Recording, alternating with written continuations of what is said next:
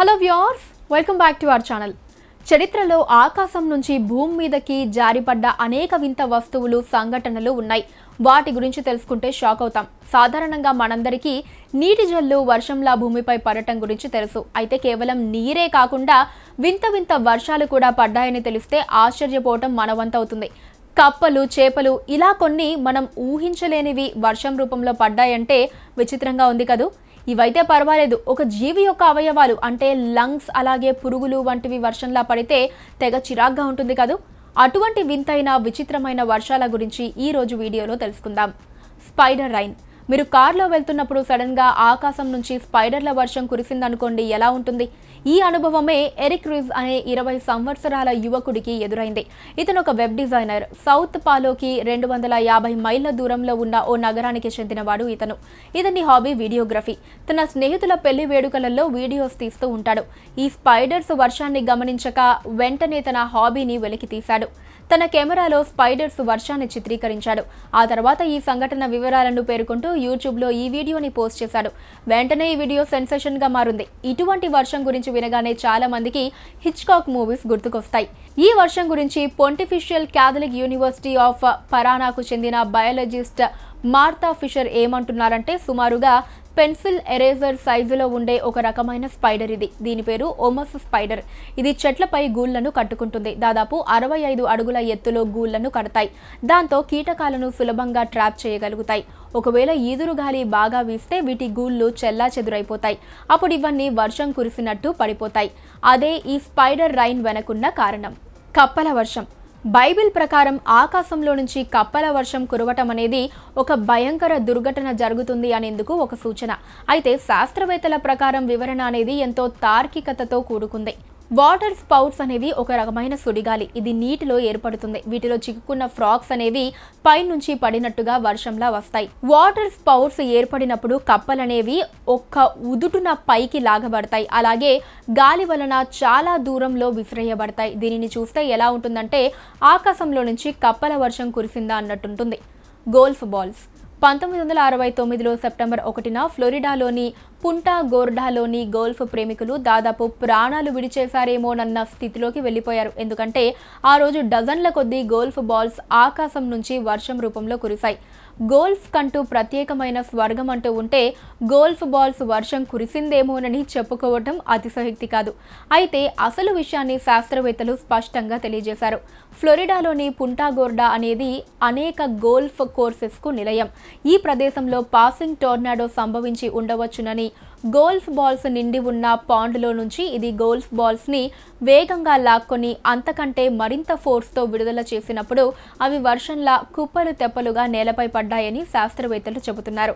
ఈ దృశ్యం అనేది గోల్ఫ్ బాల్స్ వర్షంలా కనిపించింది. Blood rains. అమ్మో బ్లడ్ రైన్సా? వింటేనే భయంగా ఉంది కదూ? సాధారణంగా కురిసే వర్షాన్ని ఎవ్వరూ అంతగా పట్టించుకోరు. ఒకవేళ వర్షం అనేది ఎరుపుగా మారిందనుకోండి అందరికీ ఆ వర్షం గురించి కొంచెం భయం వేస్తుంది. వర్షం నీరు ఒడిసి పెట్టబడిన తొట్టెలల్లో అలాగే ఫౌంటైన్స్లో నీరు అనేది ఎరుపు రంగులోకి మారితే పరిస్థితి ఏంటని ఊహించుకోండి. ఇదే అనుభవాన్ని జమైర్ స్పెయిన్లోని ప్రజలు ఎదుర్కొన్నారు. కొంతమంది ఏమనుకున్నారంటే నీటిలో కెమికల్స్ అనేవి కలిసిపోయాయేమోనని. మరికొంతమంది కావాలనే ఎవరైనా ఆకాశయానం ద్వారా ప్రయాణిస్తూ ట్యాంక్స్లలో నీటిని కలుషితం చేశారేమోనని మరికొంతమంది రక్తం లాంటి ఈ వర్షం అనేది ప్లేగ్ వ్యాధికి సూచనేమోనని అనుకున్నారు. ఇప్పుడు అసలు ఈ బ్లడ్ రైన్స్ సంగతి ఏంటో తెలుసుకుందాం. రెండు వేల ఒకటి సెప్టెంబర్లో ఆకాశం నుంచి ఎర్రటి వర్షం కేరళలో కురిసింది. దీని వలన బయట ఆరేసుకున్న బట్టలన్నిటిపై మరకలు పడ్డాయి. పరిశోధకులు అనేక అనుమానాలు వ్యక్తం చేశారు. గ్రహాంతర వాసులే ఈ ఘటనకు కారణమా అన్న అనుమానాలు కూడా తలెత్తాయి. అయితే ఈ సంఘటనకు సంబంధించిన ఓ గవర్నమెంట్ రిపోర్ట్ అనేది ఈ విషయం వెనుక రహస్యాన్ని స్పష్టంగా వివరించింది. గాలిలో పుట్టిన క్రిములు అనేవి ఈ బ్లడ్ రైన్కి కారణమని తెలిపింది. రెండు వేల పద్నాలుగులోని స్పెయిన్లో కురిసిన బ్లడ్ రైన్ అలాగే కేరళలో కురిసిన ఈ ఎర్రటి వానలకి కారణం ఒక్కటేనని తేలింది. నివాసితులు వర్షం శాంపిల్స్ని శాస్త్రవేత్తలకు పంపించారు. స్పెయిన్లోని యూనివర్సిటీ ఆఫ్ సాలమంకాకి చెందిన పరిశోధకులు ఈ నీటిని పరీక్షించి అందులో ఒక క్రిమి గురించి తెలుసుకున్నారు. ఇది ఆకుపచ్చ రంగులో ఉండే క్రిమి. రాను రాను కెమికల్ స్ట్రెస్ వలన ఎరుపు రంగులోకి మారుతుంది. రెడ్ కలర్ అనేది టాక్సిన్ అనే కెరోటిన్ పిగ్మెంట్ వలన ఏర్పడుతుంది. కాబట్టి ఈ వర్షాన్ని బ్లడ్ రైన్ ఆల్గే అని కూడా అంటారు. గబ్బిలాల వర్షం. ఆస్ట్రేలియా అనే దేశంలో కేవలం ప్రజలే కాదు జంతువులు కూడా ఛాలెంజింగ్ లైఫ్ను గడుపుతాయి. రెండు వేల పద్దెనిమిది జనవరిలో కొన్ని ప్రాంతాల్లోని గాలి ఉష్ణోగ్రత అనేది కోస్టల్ సిటీస్లో రికార్డు స్థాయిలో ఎక్కువగా నమోదైంది. ఈ వేడిని తట్టుకోవటానికి చాలా మంది ఆస్ట్రేలియన్ వాసులు బీచ్లకు క్యూ కట్టారు. వేడి నుంచి ఉపశమనం కోసం నీటిలోనే ఎక్కువ సమయం గడిపేందుకు ప్రయత్నించారు. జంతువులకేమో వేరే చోటేది లేదు. ఎక్కడ దాక్కోవాలో వాటికి అర్థం కాలేదు. ఆకాశం నుంచి గబ్బిలాలనేవి వర్షంలా కురిశాయి. ఈ అధిక ఉష్ణోగ్రతలకు జంతువులు తాళలేక ప్రాణాలు విడిచేవి. దాదాపు నలభై ఏడు డిగ్రీల సెల్సియస్కు ఉష్ణోగ్రత నమోదైంది. ఈ అసాధారణ వేడి వలన దాదాపు లక్ష గబ్బిలాలనేవి చనిపోయాయని నమోదైంది. చేపల వర్షం చేపలలో అనేక రకాలున్నాయి. ఆకాశం నుంచి చేపల వర్షం కురవటం ఆశ్చర్యకరమైన విషయమే. మీరు షాపింగ్కి బయటకు వెళ్ళినప్పుడు సడన్గా ఆకాశంలో నుంచి చేపల వర్షం కురవటం చుట్టూ ఎక్కడ పడితే అక్కడ చేపలు నేలపై పడి ఉండటం వింతగా ఉంది కదూ? అయితే వీధి పిల్లలకు మాత్రం ఇది బెస్ట్ రైన్ అని అనిపిస్తుంది. వాటికి కావలసినంత ఆహారం దొరుకుతుంది కదూ? మరి ఈ ఫిష్ రైన్ వెనక రహస్యం ఏంటి సందేహాన్ని నివృత్తి చేసుకునేందుకు గూగుల్ తల్లిని ఆశ్రయిస్తారు. చేపల వర్షం కురిసే అవకాశం ఉందా ఉంటే ఎలా అని నిజానికి ఇలా జరగటానికి గల కారణం ఏంటంటే సముద్రంలో ఒక ప్రాంతంలో వాటర్ స్పౌట్స్ ఏర్పడినప్పుడు చేపలనేవి గాలి చేత పైకి గట్టిగా లాగబడి అంతకంటే ఎక్కువ ఫోర్స్తో విడుదల చేయబడతాయి. కాబట్టి ఎంతో ఎత్తు నుంచి చేపలు వర్షం పడినట్టు పడతాయి. ఇది అరుదైన సంఘటన అని మనం అనుకోవచ్చు. అయితే నిజానికి ఇలా ప్రతి ఏడాది జరుగుతుందట.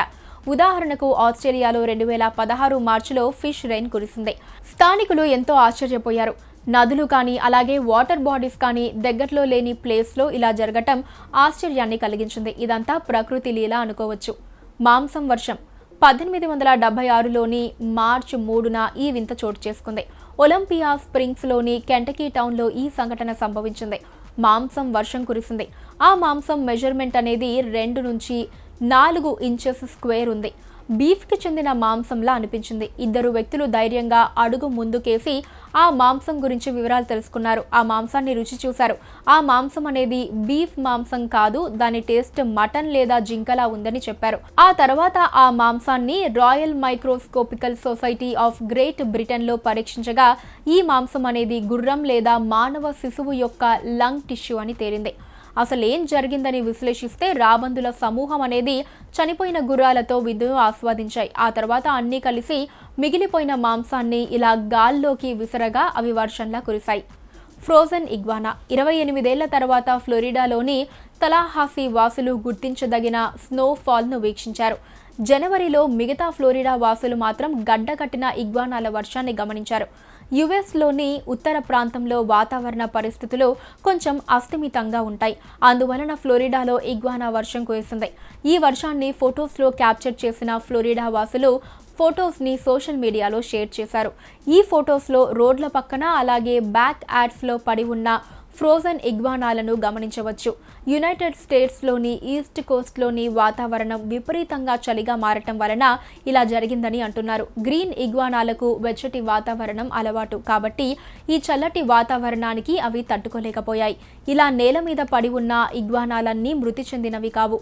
కొన్ని గడ్డ కట్టిన స్థితికి చేరుకున్నాయి. వాటి శరీరం వెచ్చబడగానే అవి మామూలు స్థితికి వచ్చేస్తాయి. వామ్స్ రెయిన్ వానపాముల వర్షం అనేది సాధారణ ప్రజలనే కాదు మెటరాలజిస్ట్ అలాగే బయోలజిస్టులని కూడా ఆశ్చర్యపరిచింది. సదరన్ నార్వేలో ఈ వింత చోటు చేసుకుంది. నార్వేజియాన్ న్యూస్ సర్వీస్ రిపోర్ట్ ప్రకారం ఓ టీచర్ మౌంటైన్స్లో స్కైయింగ్ చేస్తున్నప్పుడు చుట్టూ వానపాములు పడి ఉండటాన్ని గమనించాడు. అవి చనిపోయి ఉంటాయని అనుకున్నాడట. అయితే వాటిని చేతిలోకి తీసుకోగానే అవి బ్రతికే ఉన్నాయని తేలిందట. అవి మంచులో పాక్కుంటూ వచ్చాయేమోనని మొదట భావించాడట. అయితే ఆ తర్వాత అలా జరిగి ఉండకపోవచ్చని అనుకున్నాడు. ఎందుకంటే స్నో అనేది దట్టంగా ఉంది. ఇటువంటి వానపాముల వర్షం ఇదివరకే ఇతర ప్రాంతంలో కూడా చోటు చేసుకుందట. ఇది కొత్తేమీ కాదంటున్నారు నిపుణులు. లూసియానాలో రెండు వేల ఏడులో వేల కొద్దీ వామ్స్ ఆకాశం నుంచి నేలపై పడ్డాయట. శాస్త్రవేత్తలు ఇది స్థానికంగా సంభవించిన వాటర్ స్పౌట్స్ వలన కావచ్చేమోనని అనుకున్నారు. వీటిని దగ్గరలోని టౌన్లో వదిలేశారు. ఇటువంటి సంఘటనే రెండు వేల పదకొండులో స్కాట్లాండ్లో జరిగింది.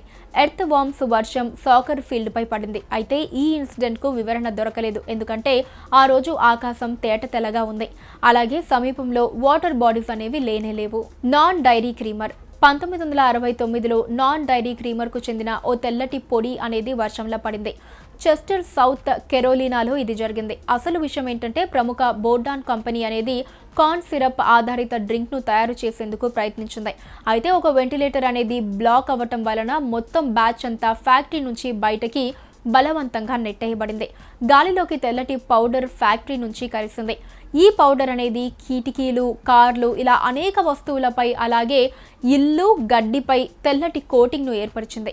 ఆ తదుపరి ఉదయం స్నో అనేది తేమను జోడించడంతో ఇది క్రిమిగా కనిపించింది. ఫ్యాక్టరీకి దాదాపు నాలుగు వేల డాలర్ల నష్టం కలిగింది. ఈ వింతైన వర్షాలు నిజంగా ఆశ్చర్యాన్ని కలిగిస్తున్నాయి కదూ? వీటిలో ఏ వర్షం గురించి మీకు ఆసక్తి కలిగింది? ఏ వర్షం మీకు చిరాకు కలిగింది? మీ అభిప్రాయాలని కామెంట్స్ ద్వారా తెలియజేయండి. అండ్ అలానే ఈ వీడియో మీకు నచ్చినట్టయితే లైక్ చేయండి షేర్ చేయండి. మా ఛానల్ని సబ్స్క్రైబ్ చేసుకోండి.